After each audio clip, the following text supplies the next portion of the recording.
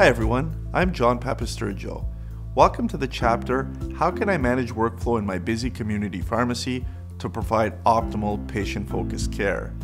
Upon completion of this module, you'll be able to apply techniques to integrate pharmacy assistants, regulated technicians, and or pharmacy students into the dispensary workflow in order to maximize patient-centered care activities, integrate strategies to assist in the consistent delivery of patient care services, and identify opportunities for workflow improvements in your pharmacy to provide optimal patient-focused care.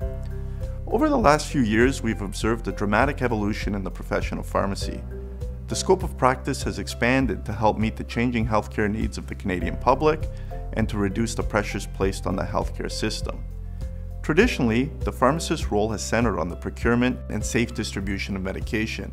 In recent years, pharmacists have seen an expanded role to include a portfolio of clinical service offerings such as medication reviews, prescription renewals, clinical adaptations, and vaccinations. As a result, pharmacists have found themselves challenged with time, workflow and staffing issues, and the ability to offer consistent, sustainable services to their patients. These challenges are the direct result of attempting to balance conventional pharmacy dispensing services with the consistent provision of clinical programs. Here's a typical example from a busy community pharmacy. The pharmacist must balance checking prescriptions with ringing phones, physician calls, over-the-counter questions, technician lunch breaks, new walk-in prescriptions, and a whole host of other activities. It is understandable that the provision of sustainable professional services could be a challenge in this environment. In order to transition into a workflow model that enables the provision of sustainable clinical services, in addition to practicing to our standards of practice, it is necessary to understand a number of key concepts. One, pharmacy labor investments are instrumental to sustainability. Two, traditional measures of pharmacy productivity need to evolve Three, understanding the evolving role of the key pharmacy players is essential. And four, embracing technology and innovation can enhance productivity. Let's look at the first concept. Pharmacy labor investments are instrumental to sustainability.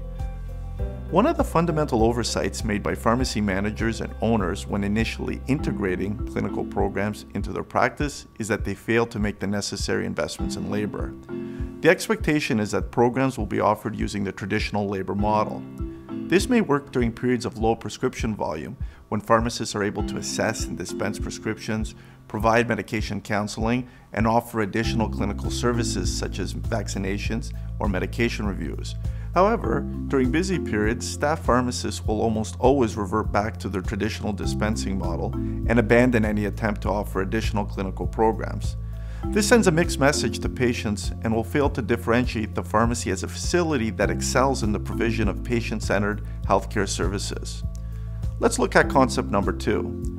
Traditional measures of pharmacy productivity need to evolve. The traditional pharmacy business model was entirely transaction-based. Dispensary productivity was assessed using measures such as scripts per labor hour or wage cost per script. This was appropriate for a model centered on dispensing.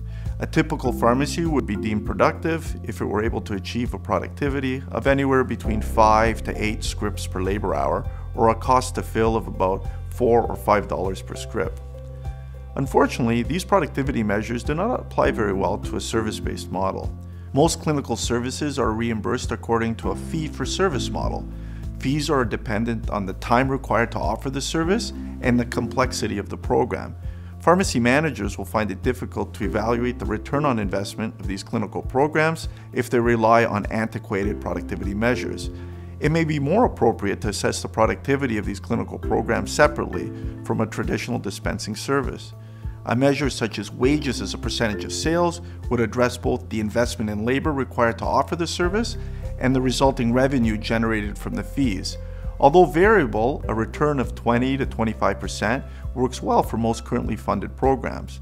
Consequently, the financial success of these programs could be more accurately assessed and changes to labor investments could be made based on these thresholds. Next, we'll move on to the third concept. Understanding the evolving roles of all the key pharmacy players is essential. Let's observe the workflow in a dispensary that has been optimized to offer consistent, sustainable professional services. In this example, there is one regulated pharmacy technician and two dispensary assistants available to complete technical tasks and appropriately direct patient queries. The pharmacist is free to focus on professional services and address patient health concerns. Note the efficient, seamless workflow. The ability to offer sustainable, patient centered services extends beyond the pharmacist. Dispensary assistants and regulated technicians are instrumental in the successful implementation of these programs. Their primary goal is to champion the dispensing function such that pharmacists' time dedicated to technical tasks can be limited and devoted instead to patient centered services. As the role of the pharmacist has evolved, so has that of the technician. As of December 2010, pharmacy technicians are regulated healthcare professionals with clearly defined standards of practice. Many pharmacies have yet to capitalize on this expanded role. Integrating a technician into practice offers a viable solution to the workflow issues faced by many pharmacies, particularly when maximizing the technician's scope.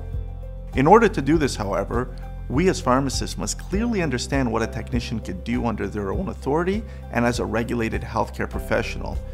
In general terms, the division of responsibilities can be defined as the technician, Technicians are accountable and responsible for technical tasks of both new and refill prescriptions. In other words, the correct patient, drug, dosage form, dose, doctor. The pharmacists. Pharmacists remain accountable and responsible for the therapeutic and clinical appropriateness of all new and refill prescriptions and all therapeutic consultation. This involves the pharmacist gathering all relevant information and making an assessment of an individual patient prior to the provision of new or refill medications, medication information or counseling, or any other clinical service a pharmacist may provide. More specifically, a regulated pharmacy technician can ensure that a prescription vial contains the right drug and quantity, ensure that prescription data entry is done accurately and matches the original prescription issued by the prescriber, accept verbal prescriptions excluding narcotic, controlled, and targeted substances, Receive and provide prescription transfers, again excluding narcotic controlled and targeted substances. Perform a procedure on a tissue below the dermis, for example using a lancing device. While the objective of integration is to optimize the roles of the technician and pharmacist, workflow will be dependent on a number of individual variables, including 1. Prescription volume, 2. OTC traffic, 3. Physical layout, 4. Pharmacy experience, and 5. Patient demographics. There is no cookie cutter approach to maximize workflow and productivity. It may be necessary for pharmacies to experiment in order to balance all these variables. Let's examine the workflow in a busy community pharmacy during flu season. In this scenario, two pharmacists are required, one of them is busy with immunization. Again, the workflow is efficient, uninterrupted, and seamless. Moreover, in addition to diverting technical tasks, technicians can play an indirect role in the professional programs themselves. In order to do this, they must be able to first define the service. The tech must be able to explain why they are offering the patient, understand basic processes to deliver the service, describe the nature of the consultation, duration of appointments, items covered, explain the inherent benefits of the service, promote a personalized approach, target maximum results in drug therapies, support through regular follow up, and provide answers to questions. In addition to defining the service, the technician must also screen for patients, notify the pharmacist about eligible patients, call patients to remind them about appointments, and provide other follow up support. By optimizing the integration of regulated pharmacy technicians, the efficiency of the dispensary function can be improved and the focus of the pharmacist can shift to offering professional services. Our last concept is embracing technology and innovation can enhance productivity. Finally, with today's steady prescription growth, pharmacy operators are looking for new and creative ways to handle prescription volume. They're experimenting with innovative solutions to help them reduce labor productivity costs, free up pharmacists' time, and maintain the important patient relationship. Let's take a moment to discuss the role that technology can play in optimizing dispensary workflow. Technological advancements have dramatically changed the way that pharmacies fill their prescriptions and the way that pharmacists interact with their patients. The most significant of these changes include paperless workflow, automated dispensing, and centralized fill. Traditional dispensaries rely very heavily on paper, Everything from hard copies to log or on hold prescriptions to transfers are documented in paper and manually filed. This is an extremely tedious and time consuming process. Scanning technology has allowed us to transition to a paperless environment. Low value tasks such as basket staging and prescription filing have been eliminated completely. All documentation is stored electronically and can be easily retrieved. The benefits to productivity and labor are enormous. In an atmosphere of a busy dispensary, every minute counts. Automated dispensing machines or dispensing robots have the ability to fill and label prescriptions very quickly and accurately. They have been shown to improve both dispensary efficiency and patient safety. As pharmacists look for additional ways to free up time for direct patient care activities, and as the cost of these devices continues to decline, we are certain to see them more frequently in community pharmacies. A natural extension of the automation process is central fill. Using central fill, pharmacies can aggregate prescriptions from multiple locations and funnel them to a centrally located prescription fulfillment center. Once there, prescriptions are assembled, verified, packaged, and are delivered back to the originating pharmacy. Although this model is not yet common in Canada, it is widely used in national chains in the United States. The cost to fill a prescription can be reduced to as low as $1 per script, as compared to 4 to $5 in a traditional pharmacy. These productivity gains have the potential to dramatically change dispensary workflow. Technological solutions also impact the way that patients interact with their pharmacies. Electronic refills allow patients to have access to emailed refill reminders and then to automatically request that their prescriptions be prepared. In addition to the obvious adherence benefits, these solutions relieve congestions at the pharmacy and allow for workload to be systematically completed in advance. For those patients that do choose to visit the pharmacy directly, patient paging systems allow them to wander the store and to be contacted when their prescription is ready. Confidentiality must be considered when implementing paging systems. Again, this allows for more streamlined workflow and reduces the stress and anxiety experienced by pharmacy staff as a result of unplanned spikes in prescription volume. Let's take a look at a couple of multiple choice questions. Which of the following is an example of how the expanded role of a regulated pharmacy technician could free up pharmacist time? A. Counseling a patient. B. Answering the telephone. C. Giving a flu shot. D. Receiving a prescription transfer. The correct answer is D. Receiving a prescription transfer. Here is one more question.